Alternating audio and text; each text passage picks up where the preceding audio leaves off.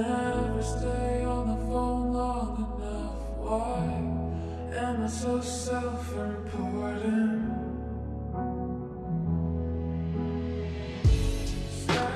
Sanity.